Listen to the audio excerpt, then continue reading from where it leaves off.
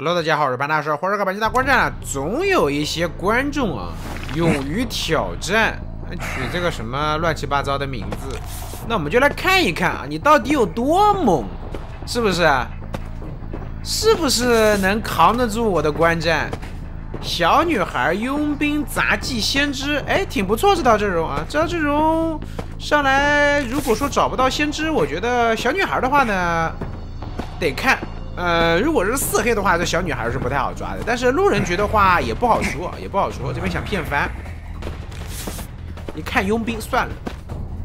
这个局其实抓先知是最好的，他带的淬火可能要传送，但是看下先知会不会防一手。因为先知知道是个蜡像师呢，说实话，蜡像师带传送的真不多。一般来说，带闪现、带插眼的比较常见啊。带传送的我是没怎么见过。看看他的天赋啊，天赋是一个踹板。嗯，不太好打。带个传送第二刀，这边先知如果说鸟一顶，直接传送，再去找这个先知，那这先知得打三刀啊！兄弟，你就这么有自信吗？这个局求者修机效率不低的，小女孩杂技外面修，这波传送，说实话，我觉得传的有点。有点拼了，有点拼了。但是他不传呢，我觉得赢面不高，因为你抓一个杂技，外面先知有鸟，求生者两波救人，或者说一波救人，其实外面的机子大概率也能。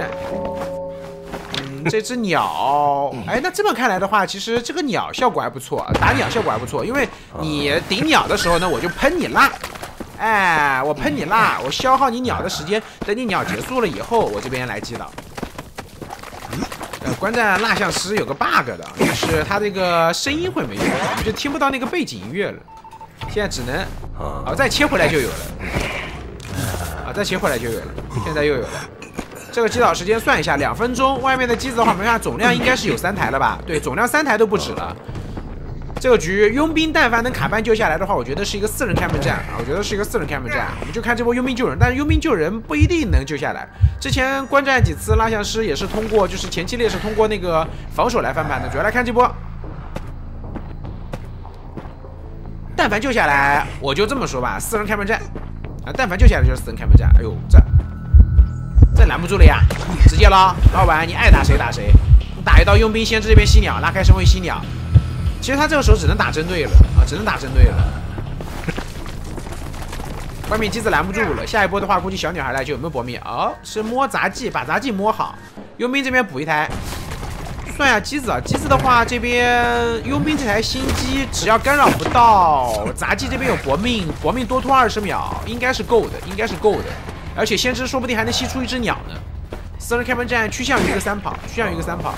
不是说就是有什么私人恩怨，正常的一个分析逻辑给大家讲清楚了。他这边得挂过去，挂到佣兵那边，然后丢蜡块来封密码机，得丢密码，丢蜡块来封密码机。那这样的话，求生者这边得外面重新起机子，这样的话机子可能就不够了啊。丢蜡块把密码机封住，对。外面的话，小女孩这边应该是附身过来跟佣兵一起修。或者说附身过来保先知，让先知吸鸟什么的，也可以，也可以啊。这边起热辣，二阶丢一个热辣，但这个热辣丢的有点近啊。热辣喷一喷，杂技这边过来有没有搏命？看不到杂技的天赋啊，有搏命有搏命，杂杂技这边有搏命，打一刀救下来。小女孩最好是附身这边的先知，镜头给到先知。两个人抢机子吗？抢机子感觉有点。不太够吧？先知这边应该会被蜡像烫死。六十五的机子，二十秒，现在应该还剩个几秒钟了。这杂技你也不一定撑得住。打吧打吧，打了，密码机八十八，能不能亮？能亮，先知新娘。早点打就好了。追一刀没打住，先知鸟有没有？镜头给到，吸个鸟有没有？没有。没有的话，穷者这边是直接强行起机子的，所以说没有人贴门，好像还有机会能保平，还有机会能保平。佣兵三个护臂，这边等你传送。杂技被看到了吗？杂技如果被看到的话，应该抓杂技会好一点吧？这边追佣兵，追佣兵有点难追哦。起热啦，因为佣兵这边不但他能扛，这小女孩也在。大象是想追两个？有点难吧？我觉得这个追佣兵，佣兵满血带护臂，这个时候应该跟小女孩分开了啊，跟跟小女孩分开了，最好小女孩能够找个角落溜了，然后飞一波杂技，然后呢，佣兵这边待会儿跳护臂走地窖，要不然你们两个人在一起，那地窖也走不了呀。总不可能真的能拖到挽留结束吧？这只剩一个护臂了。